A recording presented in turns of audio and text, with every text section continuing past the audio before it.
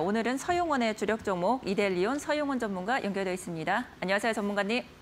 네, 안녕하세요. 네, 자 오늘 시장 주력 종목 어떤 종목입니까?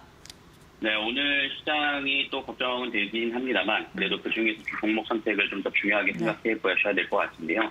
첫 번째 종목은 롯데지주 보고 있고요. 두 번째는 지난주에 이어서 어, 시노펙스 그리고 세 번째 셀트리온 헬스케어 그리고 네 번째는 동국 SNC 보고 있습니다. 네, 어려운 시장에서도 이렇게 네 종목 꼽아 주셨는데 종목 선정의 그 기준 궁금합니다. 설명 부탁드릴게요. 네, 우선 시장에서 지금 종목 선택할 수 있는 방법은 좀 안정적인 종목이나 모멘텀이 좀 강한 종목들을 단기적인 트레이딩 관점이나 또는 중장기적인 관점에서 모아가는 전략으로 구분을 해서 좀 봐야 될 것으로 판단이 되는데요. 장기 투자 관점에서 좀 관심 있게 보는 종목은 첫 번째 롯데지주라는 종목입니다. 어, 롯데 지주 같은 경우에는 우리가 잘 알고 있는 롯데 그룹의 어, 지주사 역할을 하고 있기 때문에 대표적인 종목이다라고 좀 보실 수가 있을 텐데요. 어, 최근 롯데 그룹의 좀 대규모 투자가 좀 기대가 되고 있다라고 좀 보실 수가 있겠습니다. 사실 지난 5년 동안 롯데그룹은 상당히 좀, 음, 좀 조정을 많이 받으면서 시장의 하락세가 이어진 모습이었고 롯데지주 같은 경우에는 어, 절대적 실적에 비해서도 저평가되어 있는 국면이다라고 좀 보실 수 있을 텐데요.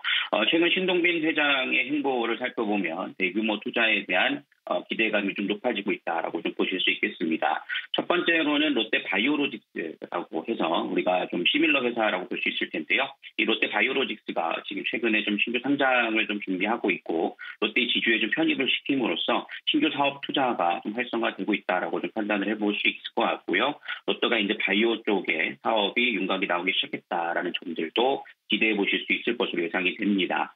그리고 최근 들어서는 롯데가 또 헝가리의 양극박 공장에 투자를 하면서 2차 전지 쪽에 대한 신규 사업도 좀 준비하고 있다라는 점들도 좀 주목받고 있다라고 좀 보실 수 있겠습니다. 그래서 바이오와 그다음에 2차 전지 관련된 흐름들이 어, 롯데그룹에서도 좀 진행되고 있다라는 점에서 롯데주 좀 관심 있게 좀 보시면 좋을 것 같고요.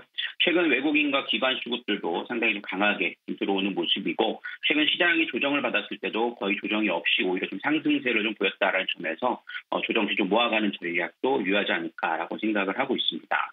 그리고 두 번째 종목으로는 시노펙스라는 종목을 좀 볼 수 있을 것 같은데요. 어, 시노펙스는 좀 단기 트레이딩 관점으로 지난주에 좀 드렸던 종목이기도 합니다. 어, 지난주 6월 17일에 좀 금요일 관점에서 좀 말씀을 어, 강하게 상승 한번 나온 이후에 어제는 좀 조정을 좀 보이는 모습이었습니다. 하지만 조정 시 좀 단기 트레이딩 관점이 좀 가능할 것으로 예상을 하고 있고요. 어, 필터 처리 관련된 어, 종목이다라고 보실 수 있을 것 같고 특히나 올 여름이 어, 무더위로 상당히 좀 어, 고생할 것이다라는 전망들이 나오고 있죠. 그리고 가뭄에 대한 우려감들도 좀 나오고 있는 부분이기 때문에 수처리 관련된 종목들을 한번 좀 살펴보시면 좋을 것 같고요.